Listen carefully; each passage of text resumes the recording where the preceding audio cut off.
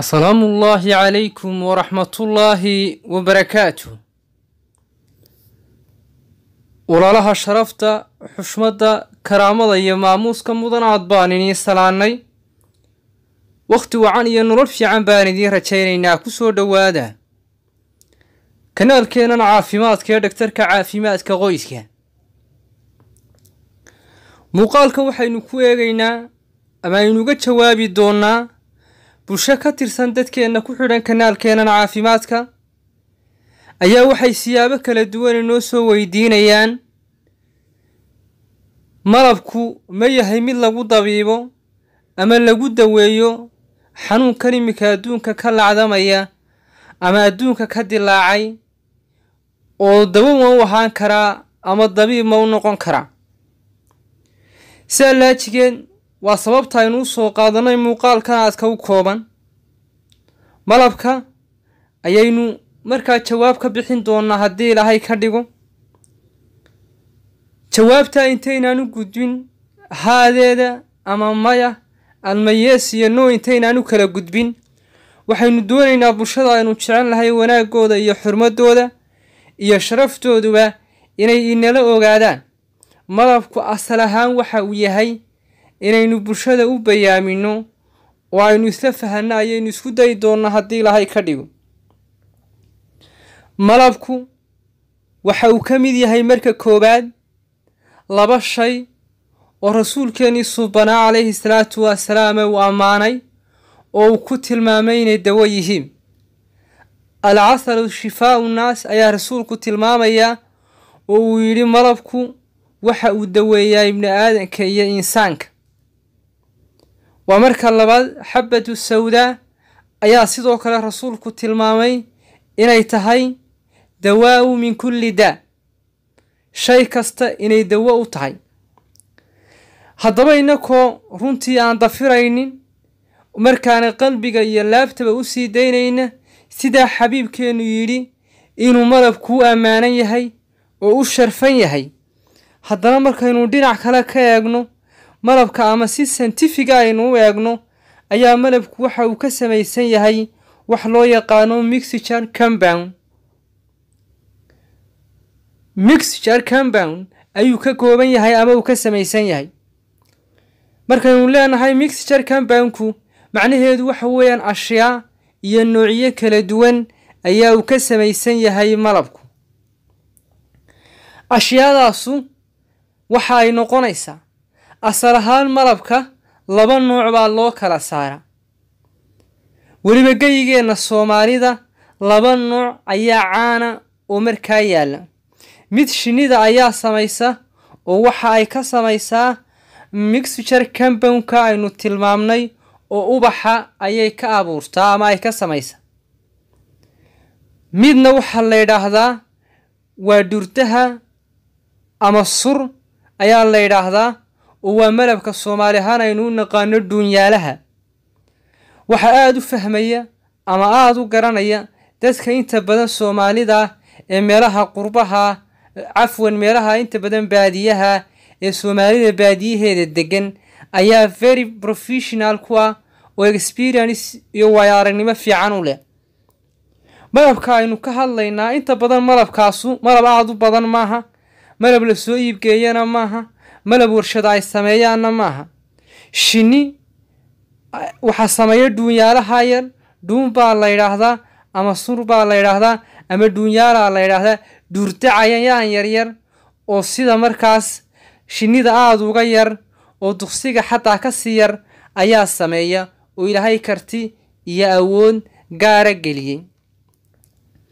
Aynu u nimaadna markaa malabku waxa uu ka samaysan yahay taas ayaa waxay inooga jawaabi doontaa su'aalo badan oo qalbigeena ka guuxaya marka aynu leenahay waxyaabo kala duwan buu ka samaysan yahay waxa uu ka samaysan yahay natural sugar ama sunkuro dabeeciya oo ay ka mid tahay fractous glucos iyo sagraus kuwaas ayuu ka samaysan yahay malabku.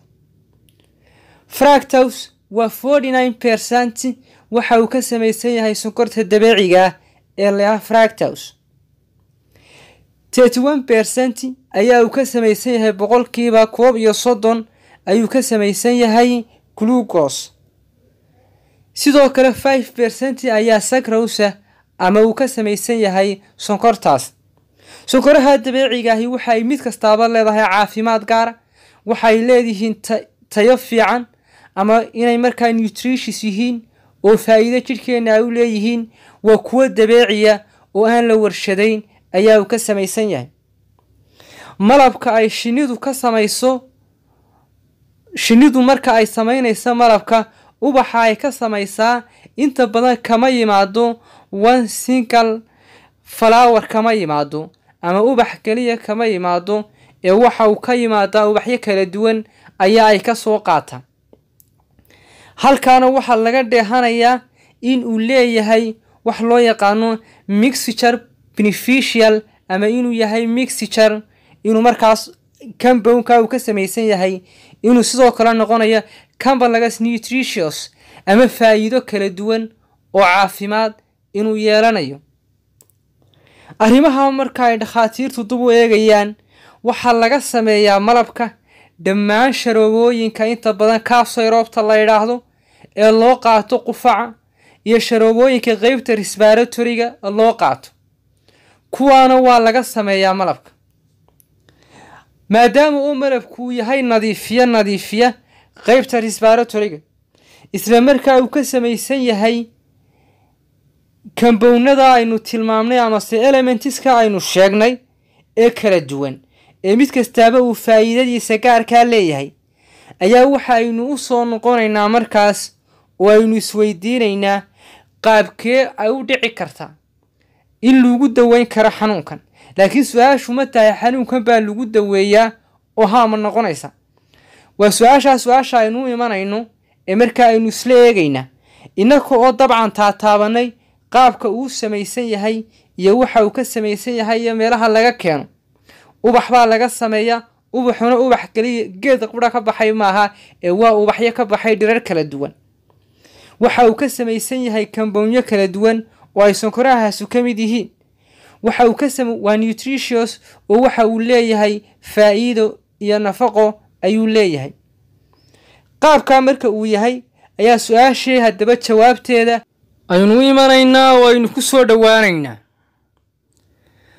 ilaa hadda wax si rasmiya dhakhaatiira oo isku waafaqday in malabka lagu daweyn karo xanuunkan adduunka ka dilaacay ma jirto laakiin malabku siyaabo kale ayuu faa'iido ugu yeelanayaa qeybka hunguriga qeybta hawamareenka qeybta xasaasiyadda iyo qeybta qofku inta badan marka uu dareemo.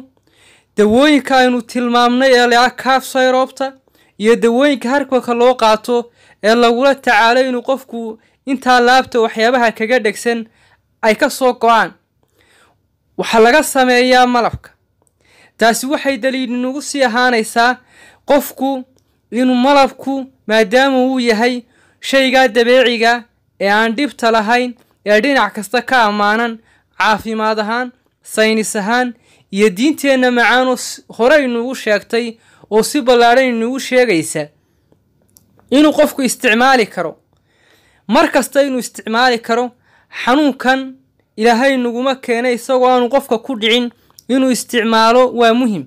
Weliba khusuusan marka uu leeyahay xanuunada inta badan dhinaca hawamareenka ku dhaca iyo marka uu dareemo hadduu hunguri xanuun dareemo iyo haddii uu dareemo inay intaa laabta wax kaga dhegsan yihiin inuu qofku isticmaalo waa mid mubaaxa oo u bannaan. Waana mid aynu ku dhiiri gelinayno bulshadeena qiimaha wanaagga iyo sharafta mudan. Malabku qiimaha aynu tilmaamnay ayuu leeyahay waana mid mar kasta dhakhaatiirta kuwa herbalistiska iyo dhakhaatiirta inta badan brofeshinka ama sbeshalistiskaba ha noqdaane inay dadka ku dhiirigeliyaan marka ay eegaan benefitiska uu leeyahay iyo faa'iidooyinka uu leeyahay waa mid runtii faa'iidadaas in aynu ka dhexlayno laakiin jawaabtu ma ahaanayso wax si saintifiga inta loo salgooyey. Aynu u soo bandhigayno bulshadeenna oo aynu odhanayno xanuunkaas adduunka ka dilaacay malabka ayaa lagu daweeyaa jawaabtaasu waa maya oo sidaas looga jawaabi maayo laakiin faa'iidooyinka guud ee kale ayaa marka loo eego way dhici karaa ama dabcan waa arkaynay xataa dad marka ku dhacay dadka ka bogsay qaar ka mid inay isticmaaleen malabka inay toonta isticmaaleen inay basasha isticmaaleen waxyaabahaasoo dhani waxyaabaha orgaaniga ee la qaadan karo ee qofka aanay waxba u diidayn weeyaan laba arrimoodunbaa u shardiya oo laga ilaalinaya. Waa inuu sameeyaa misyus iyo ofadaws labadaas ayuun baynu bulshada aynu jecelnahay uga digaynaa misyus inuu si qaldan qofku u isticmaalo oo uu isticmaalo si markaa aan sidii saxda ahayd ee lagu talagalay aanay ahayn. Gaar ahaan marka uu toontoo kale isticmaalayo inuu qofku iska cuno oo ay gubi karto oo ay dhibaatayn karto oo uu ku saxan karo qofku amawd iyo cadadar baa looga baahan yahay. Waxa uu ka qaadan karaana waa biyaha toonta ayaa la isticmaalaa ee doonta lafteedu dhibaato ayay qofka ku keeni kartaa oo khataraha ayaa badan ay sababi karto. Malabka qudhiisa ofadows lama ogola iyo qofku inuu si saayida u qaato. Isaga qudhiisu fari dhanjar sometimeka halis buu abuuri karaa saxashuu keeni karaa qof wuu naafqabatoobi karaa. Arrimahaas labada adoo aada uga taxadaraya ama aada uga fogaanaya haddaad labadaa ka fogaato inaad si qaldan u isticmaasho iyo inaad si kheyral caadiya u isticmaasho xadka ka baxsan waxyeeluu kuu geysanayaa waa qalad waana mid runtii aynaan soo dhoweynayn bulsho ahaan jawaabtuna waxa weeyaan xanuunkan waxyaabaha dabeeciga ee qofku isticmaali karo ee markaa la ogaaday isagoo si bilaadhiba u isticmaalaya inuu ku soo dhowaado waa mid muhiimadeeda leh oo runtii aanu kula talinayno malabka iyo ashyaada kale iyaguna dabcan aadka u fiican. Laakiin waxyaabaha aynu aadka uga digaynaa waxa weeyaan labada isteeba ugu dambeeya misyus iyo ofadaws labadaa inay bulshadeenu aada uga taxadaraan intaa haddaad ka fogaato waxaad heli doontaa manaafacaadka malabka jidhka waa u fiican yahay difaaca waa u wacan yahay caafimaadka internal organiska ama xubnaha gudaha inuugu jira waa u wacan yahay dhammaantood waa u fiican yahay kuwaas iyo guud ahaanba jidhka iyo caafimaadka qaadashadiisa xaddi yar ayaa muhiima qofku inuu ka qaato islamarka aanu mar wada qaadan ee uu kala nasto. Inuu saafi yahay ayaa shardiya inuu yahay markaas inaanu hanfuul lahayn ayaa muhiima dhakhtar inuu qofka u qoro oo dhakhtarku ka eego oo malabku malab la ogyahay yahay ayaa muhiimadiisa leh oo aanu hay malab la sameeyey ama waxyaabo kale oo runtii aan la ogeyn laga sameeyey. Intaas ayaynu ku soo uruurinaynaa fadlan la sii wadaaga oo u sii sheergareeya bulshada aynu jecelnahay inay kanaalkeenna ku soo biiraan oo ay qayb ka noqdaan.